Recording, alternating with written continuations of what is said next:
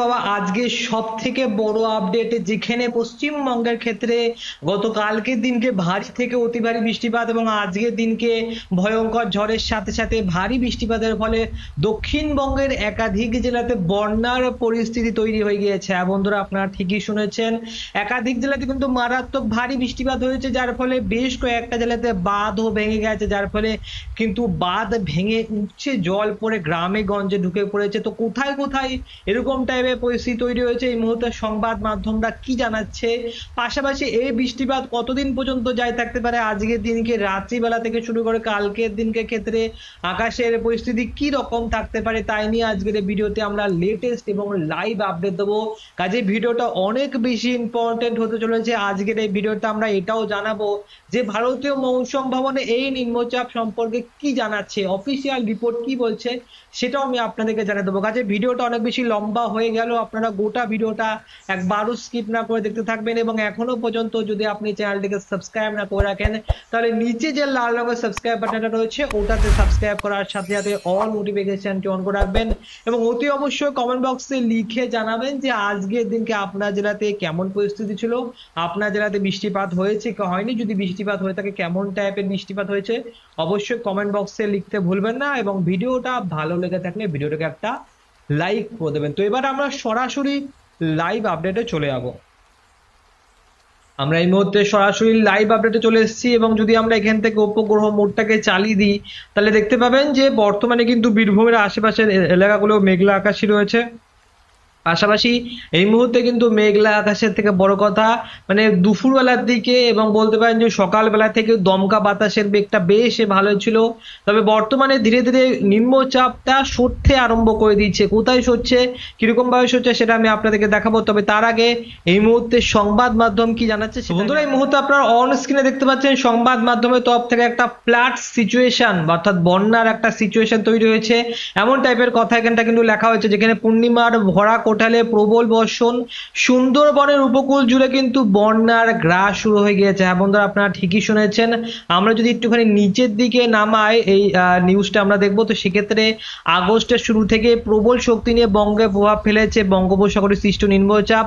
চলতি সপ্তাহের শুরু থেকেই বজ্রবিদ্যুৎ সহ প্রবল বর্ষার তাণ্ডব দেখা গিয়েছে দক্ষিণবঙ্গে। উপকূলবর্তী এলাকায় কিন্তু পরিস্থিতি তৈরি হয়েছে আরও বেশি ভয়ঙ্কর। গাঙ্গে পশ্চিমবঙ্গে দক্ষিণবঙ্গে ঘন্টায় চল্লিশ থেকে পঞ্চাশ কিলোমিটার প্রতি ঘন্টায় গতিবেগ নিয়ে ঝোড়ো হাওয়া লক্ষ্য করা গিয়েছে। উত্তাল হয়ে উঠেছে সমুদ্র, মৎস্যজীবীদেরকে মানে সতর্কবার্তা জারি করে দেওয়া হয়েছে আলিপুর আবহাওয়া দপ্তরের তরফ থেকে। পাশাপাশি বকখালি সহ বিভিন্ন এলাকায় পর্যটকদের সমুদ্রে নামতেও কিন্তু নিষেধাজ্ঞা জারি করা হচ্ছে। জলোচ্ছ্বাসের জেরে নামখানা ব্লকের মৌসুমী দ্বীপে পয়লাঘুড়ি এবং সল্টঘুড়ি এলাকায় সমুদ্রের জলোচ্ছ্বাসে তিনশো মিটারের বেশি বাঁধ কিন্তু উপচে পড়ে গ্রামে জল ঢুকতে আরম্ভ করে দিয়েছে। উপকূলবর্তী এলাকায় বহু বাড়ি কিন্তু জলমগ্ন হয়ে গিয়েছে।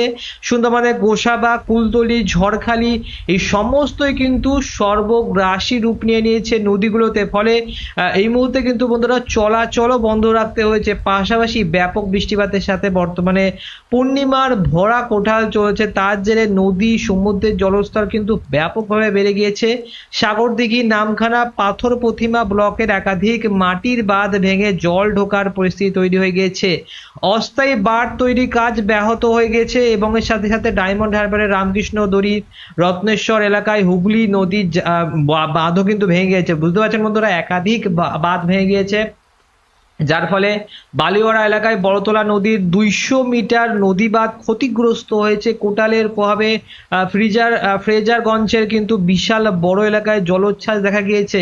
তো ইতিমধ্যে কিন্তু পরিস্থিতি অনেক বেশি ভয়ঙ্কর হয়ে গিয়েছে এবং দীঘার ক্ষেত্রে সমুদ্রে ব্যাপক জলোচ্ছ্বাস হয়েছে, যার ফলে মাইকিং দ্বারা ঘোষণা করা হয়েছে যাতে পর্যটকরা সমুদ্রে যেন না নামে সেই ঘোষণা কিন্তু করা হচ্ছে। তো পরিস্থিতি কিন্তু অনেক বেশি এলাকাদের দিকে তৈরি হয়েছে যেখানে কলকাতাবাসীদের ক্ষেত্রে হয়তো বা অত বেশি ভয়ঙ্কর পরিস্থিতি তৈরি হয়নি। কিন্তু যারা গ্রামে গঞ্জে বসবাস করে যেখানকার নিকাশি পলা মানে নিকাশি ব্যবস্থাটা অত বেশি ভালো নয়। সেখানে কিন্তু জল জমে এবং বর্তমানে ডেঙ্গুটা অনেক বেশি বেড়ে গিয়েছে এবং যত বেশি জল জমবে সেই জলা জমে কিন্তু আর মাত্র কয়েকদিনের মধ্যে ডেঙ্গুর মতন একখানা খতরনাক পরিস্থিতি তৈরি হতে পারে। তো এই বিষয়টা নিয়ে আপনারা কিন্তু নজর রাখবেন অবশ্যই। এবং আবহাওয়ার আপডেট দেওয়ার পাশাপাশি আমি আপনাদেরকে ডেঙ্গুর ব্যাপারগুলোতে কিন্তু সচেতন করার চেষ্টা করব। আপনারা অবশ্যই মানে মশারি টাঙিয়ে শুবেন এবং এর সাথে সাথে আপনারা মর্টিং অল আউট এসব কিন্তু জ্বালানোর মানে প্রস্তুতি নিতে আরম্ভ করে দেবেন। গ্রামে গঞ্জের দিকে, শহরের দিকে নিকাশি প্রণালী ব্যবস্থা অনেক মানে তুলনামূলক অনেকটাই ভালো। তো সেক্ষেত্রে অত বেশি কিন্তু খারাপ পরিস্থিতি তৈরি হয় না ডেঙ্গুর ক্ষেত্রে। তো যাই হোক, এবারে যদি আমরা কারেন্ট সিচুয়েশনে দেখি, তো বর্তমানে অত বেশি ঘন কালো মেঘ নেই। তবে বিগত বারো ঘন্টায় কেমন টাইপের পরিস্থিতি ছিল সেটা আমি আপনাদেরকে জানাব। তো এই মুহূর্তে আমরা বিগত বারো ঘণ্টার দিকটা একটু দেখে নিই। কারেন্ট সিচুয়েশনে মেঘ রয়েছে বাঁকুড়ার দিকে।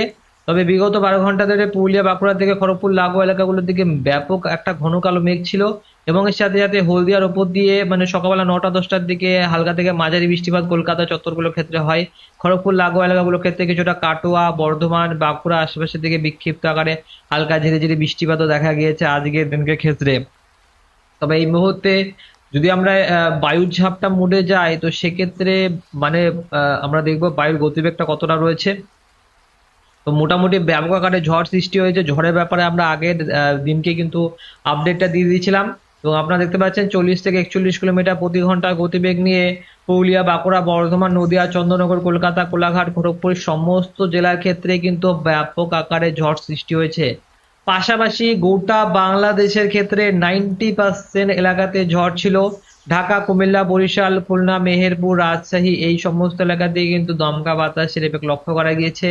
পাশাপাশি বন্ধুরা একটা জিনিস আপনারা লক্ষ্য করতে পারছেন যে এই মুহূর্তে কিন্তু ঘূর্ণাবর্তটা সত্য সত্যি ঝাড়খণ্ডের রাঁচির আশেপাশে পৌঁছে গিয়েছে।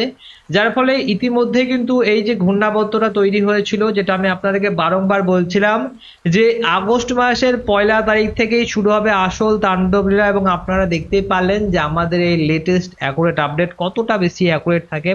যেখানে আমি আপনাদেরকে সম্পূর্ণ বিস্তারিত ব্যাপারটা জানিয়ে দিচ্ছি। তো যাই হোক এখান থেকে আমরা ধীরে ধীরে ট্র্যাকটাকে চালিয়ে দেবো এবং দেখার চেষ্টা করব এই ঘূর্ণাবর্তটা পরবর্তী সময়ে কি হতে পারে এবং ধীরে ধীরে পশ্চিমবাংলার উপরে কতটা প্রভাব পড়তে পারে, কালকের দিনকের ক্ষেত্রেও কি ঝড় উঠতে পারে, সেটা আমরা দেখার চেষ্টা করছি। তো আগামী কালকের দিনকের ক্ষেত্রে মোটামুটি ভোর রাত্রেবেলার দিকে দীঘা, মন্দারমণি, কন্টাই, হলদিয়াতে যেরকম টাইপের ঝড় বৃষ্টিপাত চলছিল, বৃষ্টিপাত হয়তো বা কমে যাবে কিন্তু ঝড়ের এফেক্টটা বাড়বে। তবে আগামী কালকের দিনকে ক্ষেত্রেও কিন্তু দমকা বাতাসের এফেক্ট কিছুটা থাকবে। আজকের দিনকে যতটা ছিল তার অন্ততপক্ষে ফিফটি পার্সেন্ট ঝড়ের এফেক্ট থাকবে। যেখানে দেখতে পাচ্ছেন যে চল্লিশ থেকে পঁয়তাল্লিশ কিলোমিটার প্রতি ঘণ্টা গতিবেগ থাকবে। পুরুলিয়ার আশেপাশের দিকেও কিন্তু বেশ ভালোই একটা দমকা বাতাসের এফেক্ট থাকতে পারে। আরামবাগ, চন্দ্রনগর, কলকাতা, কোলাঘাট, খড়গপুর, কুলুবীরের আশেপাশে এলাকাগুলোর ক্ষেত্রেও কিন্তু দমকা বাতাসের এফেক্ট থাকবে। দুর্গাপুর, বাঁকুড়া, বর্ধমান, নদিয়া, এই সমস্ত এলাকার দিকে অত বেশি ঝড় টর নেই। বেলা বারোটার পর থেকে ট্র্যাকটাকে চালিয়ে দিচ্ছি। মোটামুটি ঝড়ের ব্যাপারে যদি দেখার চেষ্টা করি, তো সেক্ষেত্রে পুরুলিয়া সব থেকে বেশি কিন্তু ঝড়ের ফলে একটুখানি ক্ষতিগ্রস্ত হয়েছে। খুব বেশি একটা ক্ষতিগ্রস্ত বলব না, কিন্তু তাও মোটামুটি ঝড়ের মানে এফেক্টটা সব থেকে বেশি ছিল পুরুলিয়া, কিছুটা উপকূলবর্তী এলাকা, এই সমস্ত এলাকা দিয়ে কিন্তু মানে বেশ ভালোই দমকা বাতাসের এফেক্ট লক্ষ্য করা গিয়েছিল। এবারে আমরা সরাসরি বজ্রবিদ্যুৎ সহ বৃষ্টিপাতের মোড়ে আসব এবং কারেন্ট সিচুয়েশন একদম ঠিক কারেন্ট সিচুয়েশনে চলে আসলাম। বর্তমানে দেখতে পাচ্ছেন যে পুরুলিয়া, বাঁকুড়ার আশেপাশের দিকে কিছুটা বিক্ষিপ্ত আকারে মাঝারি থেকে ভারী বৃষ্টিপাত চলছে। তবে এই বৃষ্টিপাতটা ধীরে ধীরে কিন্তু কমতে আরম্ভ করে দেবে। আপনারা এই মুহূর্তে দেখতে পাচ্ছেন যে পুরুলিয়ার আশেপাশের দিকগুলোর ক্ষেত্রে, বাঁকুড়ার দিকগুলোর ক্ষেত্রে কিন্তু মানে হালকা থেকে মাঝারি বৃষ্টিপাত রয়েছে এবং এখান থেকে আমরা ট্র্যাকটাকে চালিয়ে দেবো। রাত্রিবেলা থেকে কিন্তু বন্ধুরা বৃষ্টিপাতের তেমন একটা সম্ভাবনা থাকবে না, শুধুমাত্র পুরুলিয়া, বাঁকুড়া, খড়গপুর এলাকা বাদ দিয়ে মানে আকাশ মেঘলা থাকবে ঠিকই, কিন্তু বৃষ্টিপাতের সম্ভাবনা একদমই থাকবে না। নদিয়া, কলকাতা, এই সমস্ত দক্ষিণ চব্বিশ পরগনা, উত্তর চব্বিশ পরগনা বর্ধমান মুর্শিদাবাদ, খড়গপুর, লাগোয়া এলাকায় বৃষ্টিপাত কিন্তু অতটা থাকবে না। এবং আগামী কালকের দিনকে ক্ষেত্রেও মানে রোদ ঝলমলে আকাশে আপনারা দেখতে পাবেন কালকের দিনকে ক্ষেত্রে। দুপুরবেলা থেকে বিকালবেলার দিকে অল্প স্বল্প ঝিরিঝিরি গুড়ি বৃষ্টিপাতের সম্ভাবনা থাকলেও থাকতে পারে। কিন্তু মোটের মতে আগামী কালকের দিনকের পর থেকে কিন্তু বৃষ্টিপাতটা আস্তে আস্তে কমতে আরম্ভ করে দেবে। আর আপাততভাবে কিন্তু বৃষ্টিপাত দেখা যাবে না। কালকের দিনকে ক্ষেত্রে অত বেশি বৃষ্টিপাত নেই। কিন্তু কিছু কিছু এলাকাতে বৃষ্টিপাত থাকবে। মানে একদমই যে জিরো পার্সেন্ট বৃষ্টিপাতের সম্ভাবনা রয়েছে তেমনটা না। যেমন এখানে হলদিবাড়ি আশেপাশের দিকে দীঘা, মন্দারমণি, কন্টাই, হলদিয়া ছাড়াও এখানে সুন্দরবন, লাগোয়া যে সমস্ত এলাকা রয়েছে, সুন্দরবনে গোসাবা রয়েছে, এই সমস্ত যে এলাকা রয়েছে, যেমন ঝাড়খালি, দয়াপুর, গোসাবা, এই এলাকাগুলো ক্ষেত্রে কিন্তু বন্যার পরিস্থিতি তৈরি হয়েছে। কলকাতা, লাগোয়া এলাকা কিংবা দক্ষিণবঙ্গের যত বেশি ভেতরের দিকে যাব, পুরুলিয়া, বাঁকুড়ার দিকে কিন্তু বন্যার পরিস্থিতি তৈরি হয়নি। মানে বিশেষ করে সুন্দরবন, লাগোয়া যে সমস্ত এলাকা রয়েছে, এখানটায় কিন্তু ভয়ঙ্কর বন্যার পরিস্থিতি তৈরি হয়েছে এবং বৃষ্টিপাতের ফলে সব থেকে বেশি ক্ষতিগ্রস্ত হয় দীঘা, মন্দারমণি, গন্টাই, হলদিয়া এই সমস্ত এলাকা। এবং সুন্দরবন, লাগোয়া এলাকা রয়েছে এই এলাকাগুলো। পাশাপাশি বাংলাদেশের ক্ষেত্রে ফটিকছড়ি, চিটাগং, এছাড়াও এখানে লালমোহন, কালাপাড়া, এই যে কিছু কিছু উপকূলবর্তী এলাকা রয়েছে, সেই এলাকাগুলোর ক্ষেত্রে কিন্তু সব থেকে বেশি এফেক্ট লক্ষ্য করা যায়। বর্তমানে আমরা এখান থেকে পুরোপুরি ট্র্যাকটাকে চালিয়ে দেবো এবং দেখানোর চেষ্টা করব যে আবার কবে ঝেপে বৃষ্টিপাত নামতে পারে। বর্তমানে তো আপনারা বৃষ্টিপাত দেখতে পারেন এবং আজকের দিনকে বৃষ্টিপাত হয়ে যাওয়ার পর কালকের দিন থেকে বৃষ্টিপাত কমে যাবে, শুক্রবার দিনকে অত বেশি বৃষ্টিপাত নেই, শনিবার দিনকে চলে আসব। শনিবার দিনকেও কিন্তু অত বেশি বৃষ্টিপাত নেই। বেশ ভালোই রৌদ্র ঝলমলে আকাশ, রোববারের দিনকে ক্ষেত্রেও লক্ষ্য করা যাবে। তবে তাও বিক্ষিপ্ত আকারে কিন্তু বৃষ্টিপাতের সম্ভাবনা কিন্তু জারি থাকবে। এমন না যে একদমই বৃষ্টিপাতের সম্ভাবনা নেই। তবে এই মুহূর্তে এই সময় যেরকম টাইপের বৃষ্টিপাত দেখতে পারেন গতকাল এবং আজকের দিনকে ক্ষেত্রে, তেমন টাইপের বৃষ্টিপাতের সম্ভাবনা হান্ড্রেড পার্সেন্ট নেই। বিক্ষিপ্ত আকারে বৃষ্টিপাত থাকবে মানে বিক্ষিপ্ত আকারে বৃষ্টিপাতের মানে ব্যাপারে মানে আপডেট দেওয়াটা কিন্তু অনেক বেশি চ্যালেঞ্জিং এবং আলিপুর আবহাওয়া দপ্তর আবহাওয়াবিদরাও আপডেট দিতে পারে না। তবে ধীরে ধীরে ভারী বৃষ্টিপাতের সম্ভাবনা আবারও ধীরে ধীরে বাড়তে আরম্ভ করবে বৃহস্পতিবার থেকে সোমবার পর্যন্ত বৃষ্টিপাতের সম্ভাবনা কম দেখা গেলেও মঙ্গলবার আট তারিখের পর থেকে একটু একটু করে কিন্তু বৃষ্টিপাতের সম্ভাবনা বাড়বে। কেন বাড়বে? কারণ এই মুহূর্তে আরও একটা দ্বিতীয় শক্তিশালী ঘূর্ণাবতের আবির্ভাব হতে আরম্ভ করে দেবে। ঠিক এই জায়গাটার ক্ষেত্রে। দেখুন বন্ধুরা, এই রকম ভাবে কিন্তু একটা ঘূর্ণাবতের একটুখানি ফরমেশন হতে আরম্ভ করে দেবে, যার ফলে বাংলাদেশের খুলনা, বরিশাল, চিটাগং এই সমস্ত এলাকার দিকে বৃষ্টিপাত যখন হবে, তখন পশ্চিম বাংলার ক্ষেত্রেও মানে বিক্ষিপ্ত আকারে একটু ভারী বৃষ্টিপাতের সম্ভাবনা বাড়তে আরম্ভ করে দেবে।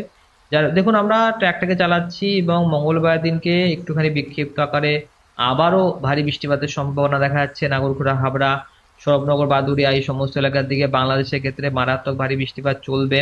যেখানে গোপীনাথপুর মুর্শিদপুর বাগেরহাট, মোগলা, এছাড়াও ঢাকা এই সমস্ত এলাকার দিকে মোটামুটি হালকা থেকে মাঝারি বৃষ্টিপাত অব্যাহত থাকবে এবং এখান থেকেই আমরা এই মুহূর্তে ট্র্যাকটাকে চালিয়ে দিচ্ছি। দেখুন মানে বৃষ্টিপাত কিন্তু মঙ্গলবার আট তারিখের পর থেকে আবারও অল্প অল্প করে বাড়তে আরম্ভ করে দেবে। তবে তবে তার আগে পর্যন্ত, অর্থাৎ সোমবার পর্যন্ত বৃহস্পতি, শুক্র, শনি, রবি এবং সোম। এই পাঁচ দিন, পরের পাঁচ দিন কিন্তু বৃষ্টিপাতের সম্ভাবনা নেই। বৃষ্টিপাতের পরিমাণ মোড়ে যদি আসি এবং তার পরে পাঁচ দিনে যদি যাই, তো সেক্ষেত্রে মানে দেখুন, পরবর্তী চব্বিশ ঘণ্টার ক্ষেত্রে এখানে যতটা পরিমাণ বৃষ্টিপাত দেখা যাচ্ছে, পঞ্চাশ মিলিমিটার বৃষ্টিপাত দেখা যাচ্ছে, কলকাতার ক্ষেত্রে দেখুন চার মিলিমিটার বৃষ্টিপাত। পরবর্তী পাঁচ দিনে আসছে ছয় মিলিমিটার বৃষ্টিপাত। তার মানে কি হলো? তার মানে বৃষ্টিপাতের সম্ভাবনা খুবই কম রয়েছে। মানে পাঁচ দিন বৃষ্টিপাত হবে না বললেই চলে। কলকাতার ক্ষেত্রে অন্তত পক্ষে কলকাতা, দক্ষিণ চব্বিশ পরগনা, উত্তর চব্বিশ পরগনা, নদিয়া, মুর্শিদাবাদ, বর্ধমান এই এলাকাগুলোর ক্ষেত্রে কম বৃষ্টিপাতই হবে। পরবর্তী দশ দিনে যখন আসছি, তখন বন্ধুরা দেখতে পাচ্ছেন যে একশো দশ মিলিমিটার বৃষ্টিপাত। তো এই বৃষ্টিপাতটা কোথা থেকে আসছে? বৃষ্টিপাতটা হবে বলেই আসছে। কারণ পাঁচ দিনে যদি সাত মিলিমিটার বৃষ্টিপাত হয়, তাহলে তার দশ দিনে চোদ্দ মিলিমিটার বৃষ্টিপাত দ্বিগুণ আমরা ধরতে পারি, কিন্তু সেটা না হয়ে কত হচ্ছে? প্রায় একশো দশ মিলিমিটার বৃষ্টিপাতের সম্ভাবনা রয়েছে। মানে কয়েক গুণ, দশ থেকে পনেরো গুণ বেশি বৃষ্টিপাত হচ্ছে। তো বৃষ্টিপাত হবে মানে পাঁচ দিন কিন্তু বৃষ্টিপাতের একটা সম্ভাবনা খুব বেশি একটা নেই। আপাততভাবে যেটা বোঝা যাচ্ছে সেই অনুযায়ী। এবারে আমরা যদি একটুখানি উপগ্রহ মোডে যাই, তো উপগ্রহ মোডে আমি আপনাদেরকে যেটা দেখাবো, সেটা হচ্ছে যে এই মুহূর্তে বিগত বছরে, অর্থাৎ ঠিক এক বছর আগে, পরিস্থিতি কেমন ছিল? দোসরা আগস্ট দু হাজার বাইশ সালে কেমন টাইপের আকাশের পরিস্থিতি ছিল সেটা আমি আপনাদেরকে দেখিয়ে দেবো। তো দোসরা আগস্ট আমরা চলে আসলাম দু হাজার বাইশ সালে রয়েছি আমরা এই মুহূর্তে। তো এখান থেকে আমরা ট্র্যাকটাকে চালিয়ে দেবো। নিচের দিকে আপনারা দেখতে পাবেন যে এক বছর আগে আকাশের পরিস্থিতি কেমন ছিল, দেখুন। দোসরা আগস্টের দিনকেও মানে মারাত্মক ভারী বাংলাদেশের এই এলাকাগুলোর ক্ষেত্রে ব্যাপক আকারে ভারী থেকে অতি ভারী বৃষ্টিপাত, ত্রিপুরা লাগোয়া এই সমস্ত এলাকার দিকে দেখা গিয়েছিল। পাশাপাশি দেখুন পশ্চিমবঙ্গের ক্ষেত্রে ঠিক এই টাইমটাই মানে একটার দিকে মারাত্মক ভারী বৃষ্টিপাত দেখা গিয়েছিল। এমন, দেখুন, গোটা পশ্চিমবঙ্গ কিন্তু পুরো কালো হয়ে গিয়েছে। তার মানে প্রচণ্ড মেঘ ছিল, মারাত্মক ভারী বৃষ্টিপাত দেখা গিয়েছিল। এবং আমরা তিন তারিখ বিকেবেলা পর্যন্ত দেখে নিলাম। বিশেষ করে আমরা তিন তারিখের দিনটাই দেখলাম। দু তারিখের মানে রাত্রিবেলা পর থেকে দেখাল। তিন তারিখের দিনকে কিন্তু ব্যাপক বৃষ্টিপাত হয়েছিল। যদি আমরা চার তারিখের দিনকে যাই, তো চার তারিখের দিনটা একটু চলে আসব। দেখুন, তিন তারিখ পর্যন্ত আমরা দেখে নিলাম। তো এটা হচ্ছে তিন তারিখ দু হাজার বাইশ সাল। চার তারিখের দিনকে দেখবেন কি হয়েছে। চার তারিখের দিনকে ক্ষেত্রে কিন্তু মারাত্মক ভারী বৃষ্টিপাত দেখা গিয়েছিল এই জায়গাটার ক্ষেত্রে। দেখাবো আমরা চার তারিখ নাগাদ কি হতে পারে। মোটামুটি চার তারিখ নাগাদও কিন্তু ভালোই বৃষ্টিপাত দেখা গিয়েছিল। বিশেষ করে ভারী বৃষ্টিপাত দেখা গিয়েছিল। তো দেখতে পেলেন যে বৃষ্টিপাত কিন্তু এক বছর আগে বেশ ভালো দেখা গিয়েছিল। পাশাপাশি এই মুহূর্তে আলিপুর আবহাওয়া দপ্তরের তরফ থেকে লেটেস্ট রিপোর্টটা দেখে নেব, দেখতে পাচ্ছেন। আলিপুর আবহাওয়া দপ্তরের তরফ থেকে যে লেটেস্ট রিপোর্ট জারি করা হয়েছে, তাতে করে হিমালয় পাদদেশের পাঁচটি জেলার ক্ষেত্রে মানে কিছু কিছু জেলাতে রয়েছে, যেমন কালিম্পং, জলপাইগুড়ি এবং আলিপুরদুয়ার, এই তিনটে জেলাতে ভারী থেকে অতি ভারী বৃষ্টিপাতের সম্ভাবনা রয়েছে। পাশাপাশি গাঙ্গে পশ্চিমবঙ্গ দক্ষিণবঙ্গের ক্ষেত্রেও ভারী বৃষ্টিপাতের সম্ভাবনা ভারী থেকে অতি ভারী বৃষ্টিপাতের সম্ভাবনা পুরুলিয়া জেলার ক্ষেত্রে দেওয়া হয়েছে। পাশাপাশি শুধুমাত্র ভারী বৃষ্টিপাতের সতর্কবার্তা রয়েছে পশ্চিম মেদিনীপুর, ঝাড়গ্রাম এবং বাঁকুড়ার ক্ষেত্রে ভারী বৃষ্টিপাতের সম্ভাবনা রয়েছে। বাদবাকি জেলাগুলোর ক্ষেত্রে হালকা থেকে মাঝারি বৃষ্টিপাতই থাকবে এবং বৃষ্টিপাতের সম্ভাবনা কিন্তু নেই। আগামী চার দিনের ক্ষেত্রে আলিপুর আবহাওয়া দপ্তর একদমই বৃষ্টিপাতের সম্ভাবনা দক্ষিণবঙ্গের ক্ষেত্রে জারি করেনি। যদি আমরা একটু উত্তরবঙ্গের দিকটা দেখি, উত্তরবঙ্গের ক্ষেত্রে কিন্তু আগামী চার দিন ভারী বৃষ্টিপাত থাকবে কালিম্পং, জলপাইগুড়ি, আলিপুরদুয়ার মানে হিমালয় পাদদেশের পাঁচটি জেলার মধ্যে মারাত্মক ভারী বৃষ্টিপাতের সম্ভাবনা কিন্তু যাই থাকবে উত্তরবঙ্গের ক্ষেত্রে। তো মোটামুটি আজকের এই ভিডিওতে আমরা এইটুকু লেটেস্ট আপডেট দিতে পারছি। পরবর্তী ভিডিওতে আমরা আরও বেশি ভেরি ভেরি অ্যাকুরেটলি আপডেট দেবো। তো অবশ্যই আপনারা স্টে টিউন থাকবেন। চ্যানেলটিকে সাবস্ক্রাইব করার সাথে সাথে অল নোটিফিকেশনটি অন করে রাখবেন এবং কমেন্ট বক্সে অবশ্যই লিখে জানাবেন যে আজকের দিনকে আপনার জেলাতে আকাশের পরিস্থিতি কেমন ছিল, আপনার জেলাতে বৃষ্টিপাত হয়েছে, কি হয়নি, অবশ্যই কমেন্ট বক্সে লিখতে ভুলবেন না। ভিডিওটা ভালো লেগে থাকলে ভিডিওটাকে একটা লাইক করে দেবেন। আপনাকে অসংখ্য অসংখ্য ধন্যবাদ এই ভিডিওটা শুরু থেকে শেষ পর্যন্ত দেখার জন্য।